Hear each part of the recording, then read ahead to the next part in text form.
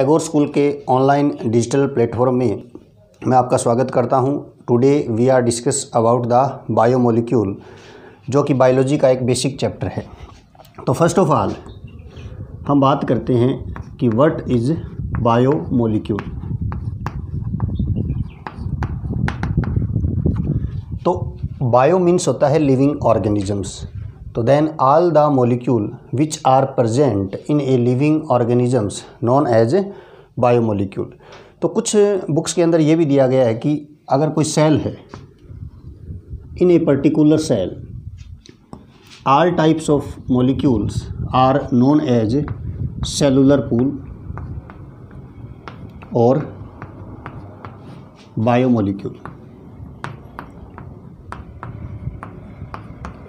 Basically जो biomolecule होते हैं, उनको हम टू पार्ट्स के अंदर क्लासिफाइड करते हैं।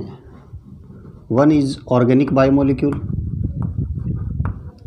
और ऑर्गेनिक जो बायोमोलिक्यूल्स होते हैं, इनके अंदर हम डिस्कस करेंगे carbohydrate protein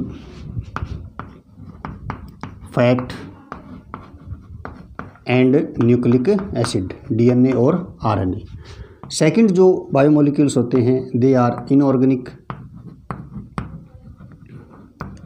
और इनऑर्गेनिक जो बायोमोलिक्यूल्स होते हैं, इसमें हम कंसीडर करते हैं मिनरल आयंस को और वाटर को। तो ये तो बेसिक क्लासिफिकेशन है किसका? बायोमोलिक्यूल का। कि they are classified into two categories organic biomolecule and inorganic biomolecule तो फ़र्स्ट ऑफ़ ऑल अगर हम बात करें कि how to analyse chemical composition या केमिकल एनालिसिस ऑफ़ बायोमोलिक्यूल तो फ़र्स्ट ऑफ़ ऑल हम क्या करेंगे कि कोई भी जो सेल है, ठीक है, या कोई भी टिश्यू लेते हैं हम we take any living tissue first of all हम क्या करेंगे, कोई भी लिविंग टिश्यू ले लेंगे, चाहे वो प्लांट टिश्यू हो या वो एनिमल टिश्यू हो। और इस जो लिविंग टिश्यू है, इसको हम क्या करते हैं ग्राइंड करते हैं।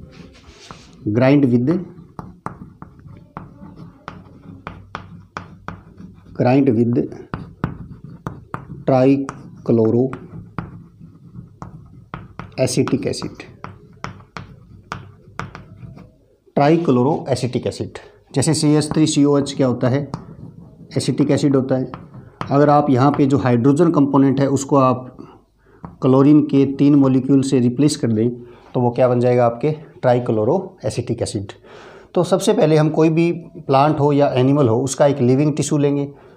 That grind with trichloro acetic acid then we get slurry और पेस्ट हमें क्या मिलेगा? सलरी एंड पेस्ट सलरी और पेस्ट क्या होता है? कि इसके अंदर? लिक्विड पार्ट भी होता है और सॉलिड पार्ट भी होता है। तो जो लिक्विड और जो सॉलिड पार्ट होता है, इसका हम क्या करते हैं? प्यूरिफिकेशन करते हैं। तो इसका प्यूरिफिकेशन करने के लिए आप क्या करेंगे? मान लीजिए हम लेते हैं एक टेस्ट ट्यूब। आपने एक टेस्ट ट्यूब लिया और इस टेस्ट ट्यूब के ऊपर आपने यहाँ पे क्या लगा दिया? कॉटन। और कॉटन लगाने के बाद इसके ऊपर जो ये सैलरी है, इसको इसके अंदर डाल देंगे। तो ये जो सैलरी है, जब आप इसके अंदर डालेंगे तो इसके अंदर मैंने कहा था लिक्विड और सॉलिड दोनों पार्ट हैं। तो इसका जो लिक्विड पार्ट है वो फिल्ट्रेट होकर कहाँ आ जाएगा? इस टेस्ट ट्यूब में आ जाएगा। और ये जो पार्ट होता है, ये क्या होगा? एसिड सोल्यूबल पार्ट और जो पार्ट फ़िल्टर नहीं होगा, वो यहाँ पर डिपॉजिट हो जाएगा। और ये क्या होगा आपका? एसिड इनसोल्यूबल पार्ट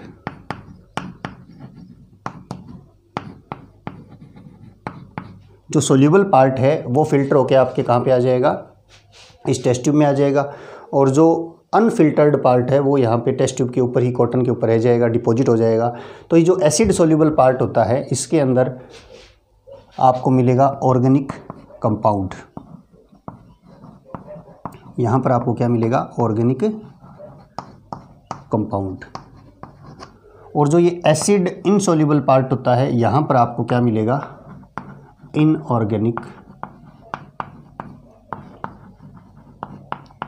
कंपाउंड तो ये ऑर्गेनिक और जो इनऑर्गेनिक जो कंपाउंड्स होते हैं तो जो ऑर्गेनिक कंपाउंड जो है, वो क्या है आपके? Bio molecule all the molecule which contain carbon compound known as bio molecule तो आपने देखा कि जो बायो मॉलिक्यूल है, वो क्या है? आल द लिविंग मॉलिक्यूल्स या molecules which are present in a living organisms are known as biomolecule जब हम बात करें बायोमोलिक्यूल्स की एनालिसिस की या सेपरेशन की, देखिए एनालिसिस और जो सेपरेशंस जो है कंपाउंड का, वो हम हायर क्लासेस के अंदर पढ़ते हैं।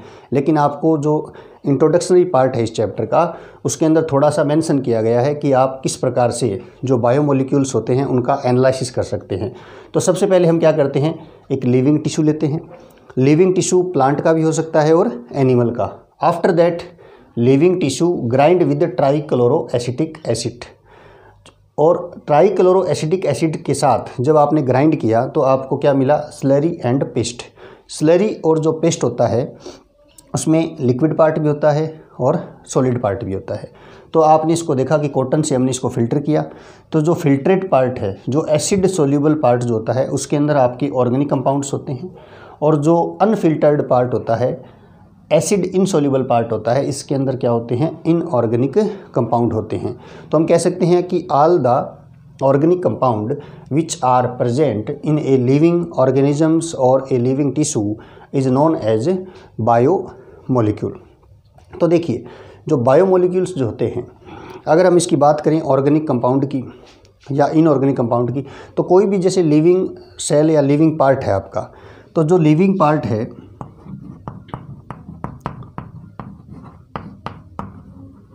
अगर आपने इसको क्या किया बर्नट किया, यानी आपने इसको जलाया तो क्या होगा? जो इसका कार्बन कंपाउंड होता है, वो क्या हो जाएगा फिर? ऑक्सीडाइज हो जाएगा। और ऑक्सीडाइज होकर जो कार्बन पार्ट है, वो एटमॉस्फेयर के अंदर रिलीज़ हो जाता है। तो जब भी आप किसी लिविंग पार्ट या लिविंग टिश्यू को जब आप बर्न करते हो तो उसमें जो कार्बन कंपाउंड है, वो कार्बन डाइऑक्साइड की फॉर्म के अंदर क्या हो जाते हैं? एटमॉस्फेयर के अंदर रिलीज़ हो जाते हैं।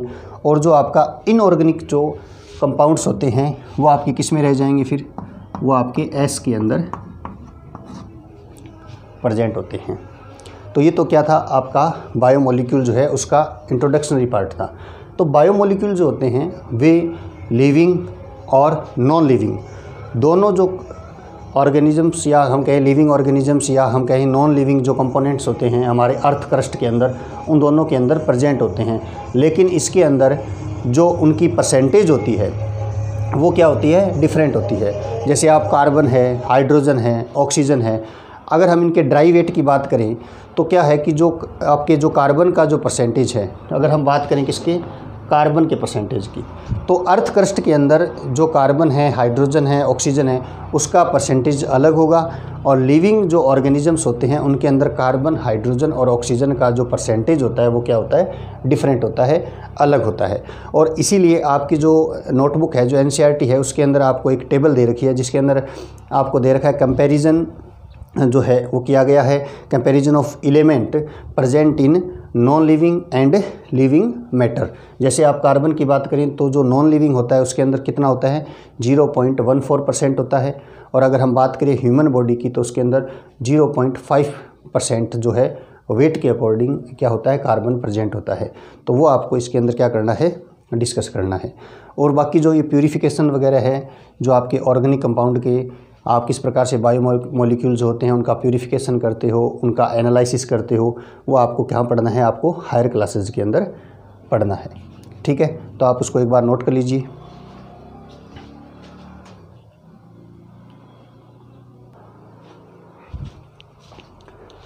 तो अभी आपने देखा कि जो बायोमोलिक्यूल है, आपने उसको नोट भी किया कि जो बायोमोलिक्यूल है, उसका हमने एनालिसिस किया।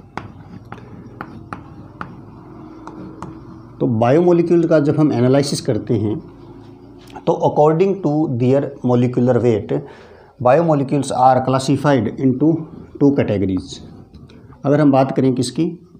On the basis of molecular weight अगर मोलिकुलर वेट के अकॉर्डिंग अगर आप बायोमोलिक्यूल को क्लासिफाइड करेंगे तो एक तो होगा आपका मैक्रो मोलिक्यूल और सेकंड आपका होता है माइक्रो मोलिक्यूल तो जो मैक्रोमोलिक्यूल्स जो होते हैं, उनका जो मोलिकुलर वेट होता है, वो क्या होता है? ज़्यादा होता है। और हाई मोलिकुलर वेट वाले जो आपके बायो मोलिक्यूल्स होते हैं, उनको हम क्या बोलते हैं? Macro molecule for the example अगर हम बात करें प्रोटीन है, और आपका फैट है, और जो आप कार्बोहाइड्रेट पढ़ेंगे, उसके अंदर आपकी एक क्लास होती है पॉलीसेकेराइड तो ये जो हैं ये किसके अंदर आते हैं? मैक्रोमोलिक्यूल्स के अंदर आते हैं। Those biomolecules their molecular weight is high approx eight thousand dalton are known as macromolecules और उनका एग्ज़ाम्पल मैंने आपको बताया प्रोटीन है फेट है पॉलीसेकेराइड्स हैं। और जो माइक्रो माइक्रोमोलिक्यूल्स जो होते हैं, उनका जो मोलिकुलर वेट जो होता है, वो कंपैरेटिवली क्या होता है? कम होता है। फॉर द एग्ज़ाम्पल अगर हम बात करें एमिनो एसिड मोनोसेकेराइड। मोनोसेकेराइड जो है वो एक कार्बोहाइड्रेट का एक टाइप्स है। जब आप पढ़ेंगे कार्बोहाइड्रेट का क्लासिफिकेशन तब आपको डिटेल में बताएँगे कि carbohydrates are classified into three categories monosaccharides oligosaccharide and polysaccharide लेकिन अभी हमें यही देखना है कि जो बायोमोलिक्यूल्स हैं, जिनका मोलिकुलर वेट ज़्यादा है they are known as macromolecules और जिनका जो मोलिकुलर वेट कम है उसे हम क्या कहेंगे? माइक्रोमोलिक्यूल्स जैसे अमीनो एसिड्स हैं और मोनोसेकेराइड हैं तो हम इस चैप्टर के अंदर एक पर्टिकुलर जो बायोमोलिक्यूल्स हैं, उनको हम पढ़ेंगे। तो फ़र्स्ट ऑफ़ ऑल हम किसके बारे में बात करेंगे? अमीनो एसिड्स एमिनो एसिड जो एमिनो एसिड्स होते हैं, ये क्या होते हैं? यूनिट्स होते हैं प्रोटीन की। हम कहते हैं ना protein is the polymer of amino acids यानी प्रोटीन का जो फॉर्मेशंस होता है, वो किससे होगा? एमिनो एसिड से होता है। और ये क्या है, एक प्रकार के आपके माइक्रोमोलिक्यूल्स होते हैं। फ़र्स्ट ऑफ़ ऑल अगर आप देखें, इस वर्ड को देखें एमिनो एंड एसिड्स तो इसके अंदर एक तो आपका एमिनो ग्रुप होता है, और एक आपका इसके अंदर एसिड ग्रुप होता है, जिसको आप कार्बोक्सिल ग्रुप बोलते हो सी ओ ओ एच अगर मैं एक जनरल स्ट्रक्चर की बात करूँ एमिनो एसिड्स की तो इसमें क्या होता है, देखिए, एक कार्बन कंपाउंड होता है। और इस कार्बन कंपाउंड के अंदर आपको पता है कि जो कार्बन की जो वैलेंसी होती है, वो कितनी होती है आपकी? फोर वैलेंसी होती है, ठीक है? तो सबसे पहले कार्बन की जो एक वैलेंसी है, उसके अंदर हम क्या होता है, एक जो वैलेंसी है, उस पर हाइड्रोजन होता है। एक जो आपकी वैलेंसी होती है, उसके अंदर एमीन ग्रुप होता है। और एक जो आपकी वैलेंसी होगी उसके ऊपर सी ओ ओ एच जिसको आप क्या बोलते हो? कार्बोक्सिल ग्रुप बोलते हो। तो यहाँ पर आप देख सकते हो कि एमिनो यानी एमीन ग्रुप है एसिड कार्बोक्सिल ग्रुप है। यहाँ पर जो इसकी फोर्थ वैलेंसी है, इसको मैं डिनोट कर रहा हूँ आर सी ये जो आर है ना, ये क्या होते हैं? वेरिएबल होता है।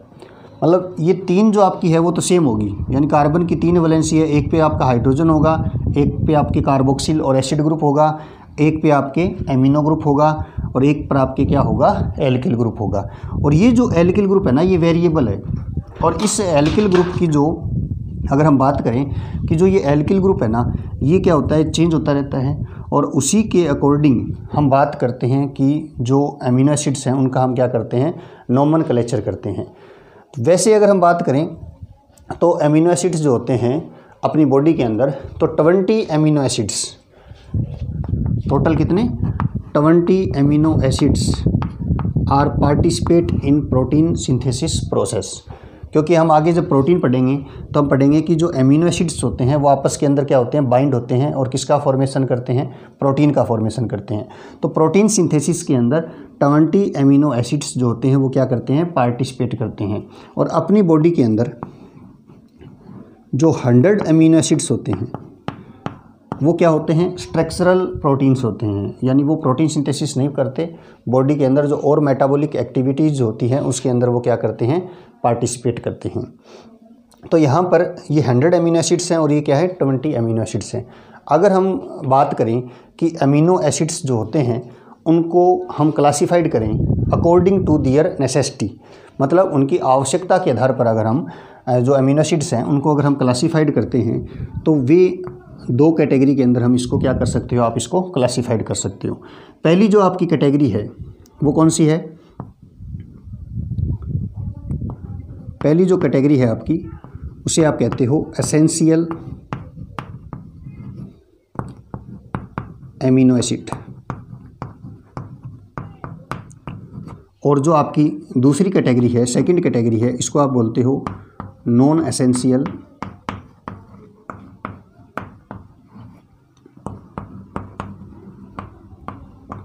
एमिनो एसिड तो अमीनो एसिड का जो क्लासिफिकेशन है, वो आपने क्या किया है? अकॉर्डिंग टू दियर नेसेसिटी आपकी आवश्यकता के आधार पर।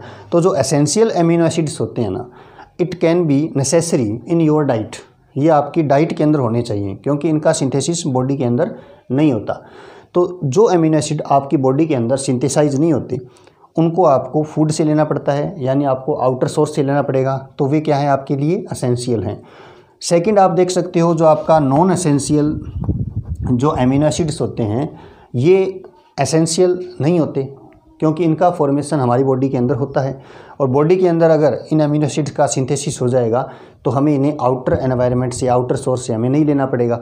और आउटर सोर्स से अगर हम इन्हें नहीं लेंगे तो वो क्या हो जाएँगे फिर आपके नॉन एसेंशियल एमिनो एसिड्स तो ये तो हो गया आपके अकॉर्डिंग टू दियर नेसेसिटी तो अब मैं आपको बता देता हूँ एक बार फिर से रिपीट कर रहा हूँ कि amino acids are the unit of protein जब प्रोटीन सिंथेसिस पढ़ेंगे तब हमें पता चलेगा proteins are polymer of amino acids amino acids के अंदर जो कार्बन है, इसमें एक तो एच ग्रुप होता है, जो कॉमन होता है, सभी अमीनो एसिड्स के अंदर प्रेजेंट होता है. एमिनो है तो यहाँ पे एन ग्रुप भी होगा. एसिड है इट मीन्स यहाँ पर सी ओ एच ग्रुप भी होगा. फोर्थ जो आपका वैलेंसी है, जिसे मैंने आर से डिनोट किया है, ये जो आर है, ये क्या है? वेरिएबल है. और ये जो आर है, ये चेंज होता रहता है। मैं कह रहा हूँ कि जो twenty amino acids are participate in protein synthesis process तो जो ट्वेंटी अमीनो एसिड्स हैं, उनके अंदर हम कह सकते हैं कि जो ये आर है ना, ये डिफरेंट होगा। बाकी ये तीनों वैलेंसी जो हैं, वो सभी अमीनो एसिड्स के अंदर क्या है कॉमन है सेम है। और जो हंड्रेड अमीनो एसिड्स होते हैं, ये बॉडी की जो अदर मेटाबॉलिक जो रिक्वायरमेंट है, उनको कंप्लीट करते हैं।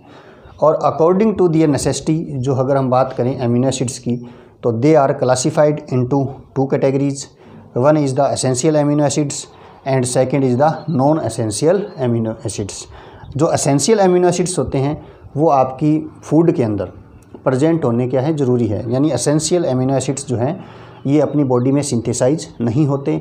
हम इन्हें आउटर सोर्स या फ़ूड या डाइट से हम लेते हैं। तो they are essential amino acids and non essential amino acids जो हैं, इन अमीनो एसिड्स का सिंथेसिस अपनी बॉडी के अंदर होता है, हमें इन्हें आउटर सोर्स यानी फ़ूड या डाइट्स के थ्रू हम इनको नहीं लेते। तो ये क्या हो गया आपके नॉन एसेंशियल एमिनो एसिड्स होते हैं। ठीक है? अब बात करते हैं किसकी? यहाँ पे कार्बन के वलेंसी की। तो देखो, अगर मैं यहाँ पर बात करूँ कि ये आर है, अगर मैं यहाँ इस आर की जगह, क्या हो? एच तो उस अमीनो एसिड को आप क्या कहोगे?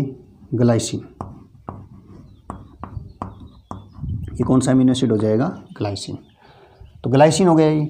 अब ग्लाइसिन के अंदर यहाँ पर आर की जगह क्या था? एच क्योंकि मैंने बताया था कि जो twenty types of amino acids they are participate in protein synthesis process they are different by their R group मतलब जो आर का जो वेरिएबल पार्ट है, ये आर ही चेंज होगा। अगर यहाँ पे आर की जगह क्या हो? एच तो उस अमीनो एसिड्स को हम क्या कहेंगे? ग्लाइसिन मान लेते हैं इस आर की जगह पे क्या हो? ये सी है। मैंने कहा था एच सभी के अंदर कॉमन होता है। ये क्या हो गया आपका? सी ओ ओ एच और ये आपका क्या हो गया? एन एच टू ठीक है? और अब यहाँ पर मान लेते हैं इस आर ग्रुप की जगह क्या है यहाँ पर? सी एच थ्री जो सी एस थ्री है तो इस अमीनो एसिड का नाम क्या हो जाएगा? एलेनिन इसको बोलेंगे हम एलेनिन तो आपने देखा कि जो यहाँ पर इस अमीनो एसिड्स के अंदर और इस अमीनो एसिड्स के अंदर जो तीनों वैलेंसी है, वो क्या है आपकी? सेम है। चेंज यहाँ पे क्या हो रहा है? ओनली एल्किल ग्रुप या आर ग्रुप या हम कह सकते हैं वेरिएबल तो यहाँ पर थर्ड देख सकते हो आप। वैसे ही अगर मैं आपको एक एग्जांपल और लेता हूँ कि कार्बन है, यहाँ पे आपका एच ग्रुप है। यहाँ पे N H two amino group है और यहाँ पर आपका सी ओ ओ एच ग्रुप है और यहाँ पर आर की जगह हमने क्या लगा दिया? C H two O H क्या लगा दिया यहाँ पर? C H two O H तो इस अमीनो एसिड का नाम क्या हो जाएगा? सेरिन इसको हम क्या कहेंगे? सेरिन तो आप देख सकते हो कि जो एमिनो एसिड्स जो हैं, उनके अंदर ये आर ग्रुप है ना, ये क्या है? वेरिएबल है। और उसी के अकॉर्डिंग हम इसकी स्ट्रक्चर्स जो हैं, उसको डील करते हैं। अब अगर देखिए, कुछ आप बुक्स के अंदर आप पढ़ेंगे कि जो एमिनो एसिड्स जो होते हैं ना, वे क्या होते हैं? एलिफेटिक एमिनो एसिड्स या एरोमेटिक एमिनो एसिड्स देखिए, वैसे तो एक केमिस्ट्री का पार्ट है एलिफेटिक एरोमेटिक लेकिन हम थोड़ा सा इसके बारे में बता देते हैं कि कुछ बुक्स के अंदर आपको ये भी मिलेगा देखने के लिए कि एलिफेटिक एमिनो एसिड्स और कुछ जो बुक्स हैं, उसके अंदर आपको मिलेगा एरोमेटिक एरोमेटिक एमिनो एसिड इसके अंदर आप देखिए किस प्रकार से इसको क्लासीफाइड करेंगे। एलिफेटिक क्या है? जैसे मान लो यहाँ पे एच ग्रुप है। एच है, मैंने कहा था ये तो तीनों वैलेंसी सेम है। आर की जगह एच था तो वो क्या हो गया? ग्लाइसिन अगर आर की जगह हमने क्या लगाया? मैथिल ग्रुप लगाया तो वो क्या हो गया? एलिनिन और आर की जगह हमने क्या लगाया था? C H two O H तो वो क्या हो गया? सेरिन तो यहाँ पर जो ये सी एच थ्री है तो आपको पता है कि जब हम केमिस्ट्री पढ़ते हैं तो उसके अंदर आपने देखा होगा कि जैसे कोई कार्बन है तो कार्बन की लॉन्ग चेन होती है। तो कार्बन की अगर ये जो एल्किल ग्रुप है, जैसे आर है, यहाँ पे सी एस थ्री की जगह C S two C S three एक लॉन्ग चेन होगी तो हम उसे क्या कहेंगे? एलिफेटिक एमिनो एसिड्स अगर मान लीजिए एरोमेटिक एमिनो एसिड्स मीन्स हो गया, अगर यहाँ पर जो आर ग्रुप है, उसकी जगह पे कोई क्लोज्ड चेन हो कार्बन की, या कोई एरोमेटिक रिंग हो तो हम उसे क्या कहेंगे? एरोमेटिक एमिनो एसिड्स जैसे हम बात करते हैं किसकी फिनाइल एलिनिन जो है, उसके अंदर हम देखते हैं कि ये जो यहाँ पर है, एक फेनाइल ग्रुप जो है, वो और जुड़ जाता है ऐड हो जाता है तो हम उसे क्या कह देंगे फिर? एरोमेटिक एमिनो एसिड्स ठीक है? तो ये तो थी आपके स्ट्रक्चर्स ऑफ़ एमिनो एसिड ठीक है? इसको आप एक बार थोड़ा नोट करना चाहें तो इसको नोट कर लीजिए।